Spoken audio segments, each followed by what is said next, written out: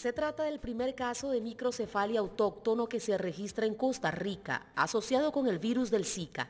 De acuerdo con el informe de las autoridades de salud, el bebé nació hace 20 días en un hospital capitalino y también dio positivo con Zika, virus que pudo haber contraído mientras estaba en el vientre materno. La madre del menor, habitante de una comunidad caribeña, indicó que no presentó síntomas del virus durante el periodo de gestación. La microcefalia es un trastorno neurológico asociado con el virus del Zika. Dicha enfermedad congénita provoca que la cabeza de los bebés sea más pequeña de lo normal el Zika es una enfermedad transmitida por el mosquito Aedes aegypti y su impacto en Centroamérica ha despertado la preocupación de las autoridades regionales e internacionales. La información más reciente revela que en lo que va del año, este virus ha dejado en Honduras unos 90 bebés con la malformación cerebral, mientras que en Guatemala las autoridades informaron semanas atrás sobre la existencia de 13 casos de microcefalia. Mientras tanto, en Panamá se contabilizan al menos nueve neonatos con anomalías congénitas y neurológicas